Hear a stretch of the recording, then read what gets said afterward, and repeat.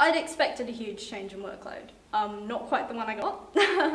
it was insane to begin with, but you get your head around it. You really don't know about most of the careers to begin with anyway. Yeah, I mean, like, you have no idea what you can study. Um, and that was one of the greatest things about health sciences first year. It opens you up to everything. You're studying literally everything, the groundwork on all science in essence. Um, and you can head in any direction. And yeah, it's a good way to dabble and, you know. Ah, oh, time management. Get your head around that, like, now. you need to get time management down, because with the workload, you're going to have to have it. The halls aren't the only option. You don't need to freak out about put, you know, filling in your halls forms, because to be honest, for some people, the halls just aren't right. And in hindsight, I think that if I'd gone to a hall, I would have been very unhappy.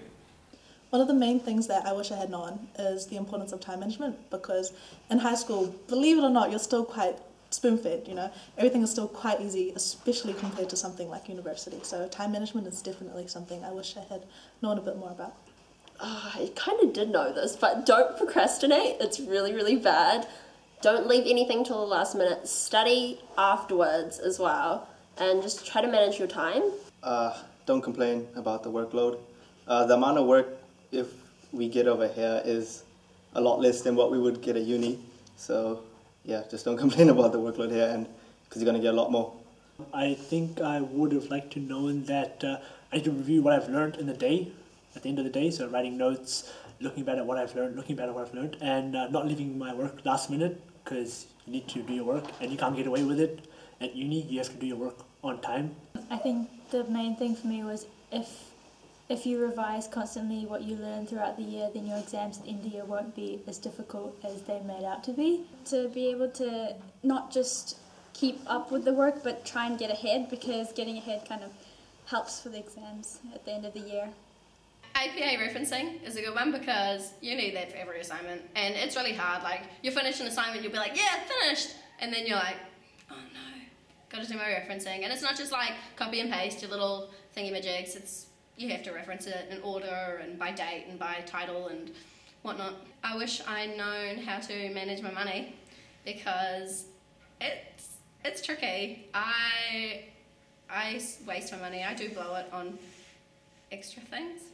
Um, but I could, I should be spending it on things I need. So, like, if I run out of toothpaste and like toiletries and stuff, but I want to come up to Auckland for the weekend, I have to decide like, am I going to come up to Auckland and spend the money on fuel, or am I going to get what I need and buy my toothpaste and my shampoo and conditioner and so forth. First off, I don't think I am like everyone thinks they're so grown up. Like they're like, yeah, I can do this. I'm so independent and stuff. And then it comes down to it, and I'm like, I miss my parents, and I miss, I miss like getting my laundry done for me and like, things like that. Um, and also money. Yeah, money is like the biggest struggle at the moment. Um, but yeah, just yeah. Um, I wish that I've gone get advice earlier for like how to budget stuff and um, like it's not like NCEA where it's like um, you can just drop out of like something, not do it, and like you'd still be passing. Like you have to do everything at uni. You you can miss out on like one small um, thing that doesn't even count as your final grade, but you can still fail not even doing it.